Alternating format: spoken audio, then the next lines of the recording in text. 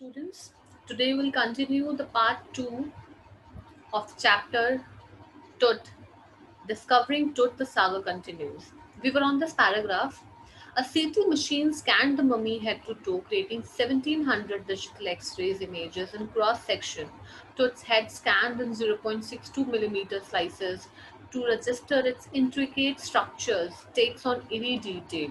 Now, plus eerie detail is basically एक अजीब सी image जो यहाँ पर इमेज को रेफर किया गया है, टुट के हेड सर की जो इमेज आई थी वो सीटी स्कैन में, वो in the resulting image With Tut's entire body similarly recorded, a team of specialists in radiology forensics. Forensics is basically the application of the scientific method to investigate a crime. ठीक है किसी चीज को find करने के लिए scientific method का इस्तेमाल करना anatomy is basically the branch of science where you are you about to know uh, the body structure and body parts of the animal human beings or other living beings begin to prop the secrets of the winged goddesses of a gilded burial shrine protected for so long burial is basically uh, you know burying the dead and uh, Shrine is basically a holy place. Now class here ये बताया गया है कि जो CT scan थी machine थी उसने पूरी बॉडी को स्कैन किया टुटकी सर से लेकर उसके पैरों तक और उस स्कैन के, ज़रिए 1700 डिजिटल एक्सरेज जो थी वो क्रॉस सेक्शंस में नज़र आने लगी। जो टुट का हेड था वो 0.66 यू नो एमएम स्लाइसेस में।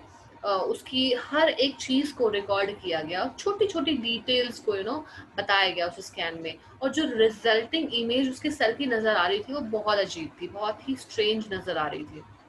अब इसके लिए एक रेडियोलॉजी की टीम एक फॉरेंसिक की टीम और एक एनाटॉमी की टीम के एक्सपर्ट्स जो थे, उनको ये सारी डिटेल्स दी गई, जो कि वो अब एग्जामिन करें कि इसका सीक्रेट्स क्या है।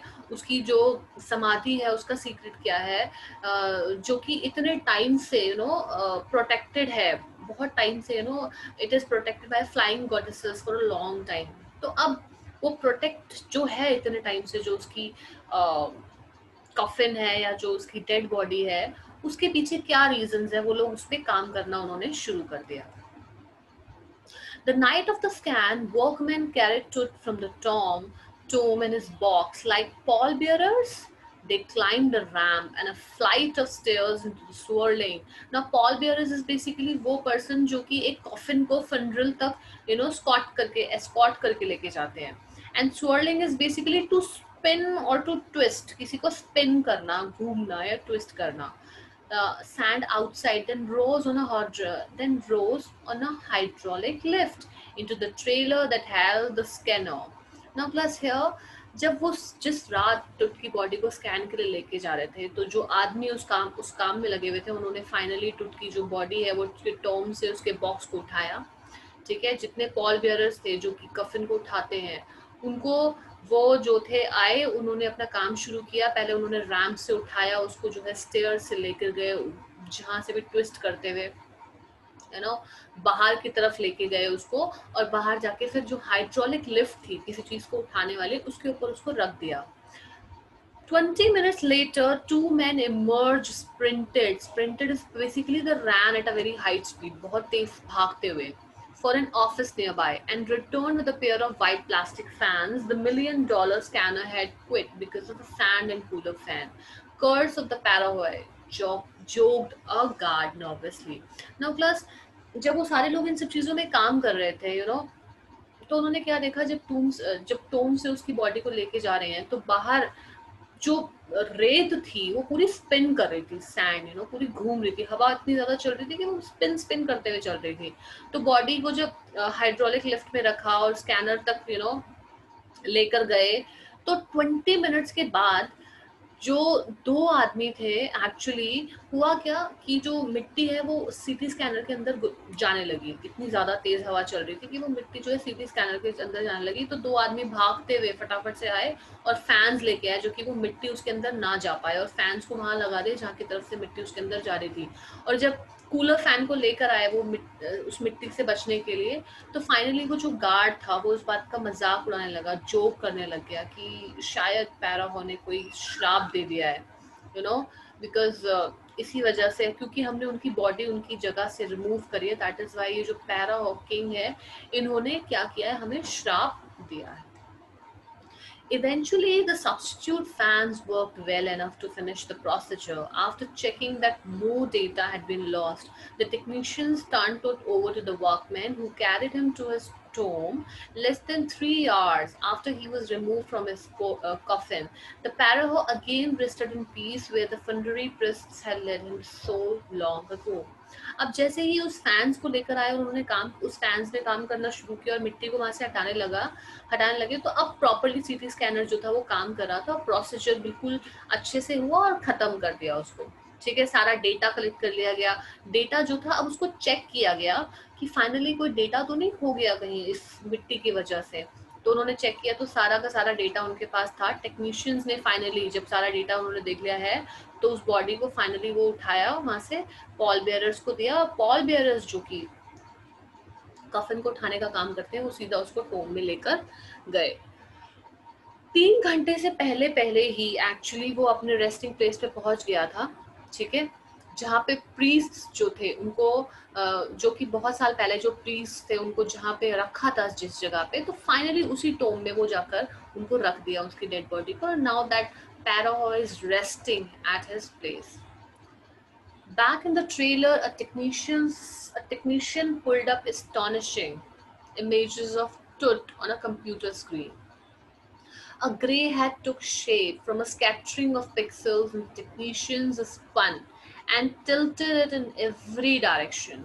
Now class, जो technicians थे यहाँ पे एस्टॉनिशिंग का मीनिंग दिया गया एस्टॉनिशिंग इज़ मीन्स के कुछ जब आप हैरान हो जाते हो something is very amazing pixel is basically a single point in a graphic image okay neck vertebrae vertebrae is basically a series of small bones which form a backbone appear as clearly as an anatomy class other images revealed a hand several views of the rib cage and a transection of the skull but for now, the pressure was off. Sitting back in his chair, Zahi Hawass smiled, visibly relieved that nothing had gone seriously wrong.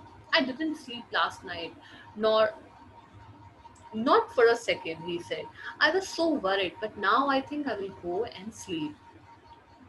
By the time we left the trailer, descending metal stairs to the sandy ground, the wind had stopped. The winter air lay cold and still, like death itself, in this valley of the departed, just above the entrance to Tutstone. Now, class, here you can see अब जो technicians थे, उन्होंने finally जब सारा data record कर लिया तो उन्होंने पूरा ट्रेलर दिखाया क्या है कंप्यूटर स्क्रीन पर। तो कंप्यूटर स्क्रीन पर जब वो ट्रेलर में दिखाई सारी चीज़ें दिख रही थी तो तुट की पूरी बॉडी एक ब्यूट बॉडी की इमेज दी थी that was a very beautiful image you know showing on the computer screen and वहाँ पे उसने उस स्क्रीन पे नज़र आया कि उसका ग्रे कलर का हेड जो कि उसके जो पिक्सल्स थे, वो बहुत फट रहे थे यू नो इधर उधर फैल रहे थे। और जो उसकी बॉडी यू नो उसकी जो हड्डियों का जो ढांचा था वो और जो उसके हाथ, उसके जो रिब केश थे, पूरी की पूरी जो उसकी स्कल जो होती है ना, वो पूरा वहाँ पे नज़र आ रहा था। अब जैसे जैसे as the work was done जैसे जैसे काम हुआ फाइनली जो प्रेशर काम खत्म हो गया तो प्रेशर जो था वो फाइनली अब जाही हवास के शोल्डर्स उसके कंधों पे से वो बोझ उतर चुका था क्योंकि उसकी रिस्पॉन्सिबिलिटी अब खत्म हो गई थी। तो वो जाही हवास अपने चेयर पे बिल्कुल आराम से बैठे हुए हैं वो स्माइल करते हैं और कहते हैं कि हाँ बहुत रिलीफ है वो क्योंकि कुछ भी बेकार नहीं हुआ। जो काम वो डिसाइड किया था उन्होंने वो फाइनली हो गया है। और उन्होंने बोला कि यू नो you know, मैं प्रीवियस नाइट पूरा सो नहीं पाया हूँ। और इनफैक्ट काफ़ी टाइम हो गया है कि मैं अच्छे से सो नहीं पाया हूँ तो अब मैं आराम से काम खत्म हो गया है, आराम से जाके अब मैं सो सकता हूँ। अब by the time the left trailer जैसे ही उन्होंने उस ट्रेलर को यू नो बंद किया, जो विंड जो हवा थी, वो अब दोबारा से बंद हो गई। और जो विंटर वाली हवा थी ना, बिल्कुल एकदम शांत, वो वैसे वाली हवा चारों तरफ़ चलने लगी, जो ऐसे लग रहा था that that movement you know some death movement is there that the wind is also very silent and उस टोम के ऊपर पूरा का पूरा एक ओरियन कॉन्स्टलेशन रात में चमक रहा था। Orion constellation is basically class जब तारों, जब तारे बहुत ज़्यादा आसमान में दिखाई देते हैं that is what we call constellation that constellation that the Egyptians know as a of Osiris the god of the afterlife watching over the boy king ठीक है? अब वो वो सिचुएशन ऐसे लग रहा था कि पूरे आसमान में जो तारे हैं वो चमक रहे हैं और ऐसा लग रहा है कि हाँ तारे भी देख रहे हैं कि अब ये जो बॉय है फाइनली रेस्ट करने लग गया है और वो वहाँ से तारे उसको जो है कंटिन्यूसली देख रहे हैं, उसको ऑब्ज़र्व कर रहे हैं और फाइनली अश्योर कर रहे हैं कि he is resting at his okay so with this we come to an end of this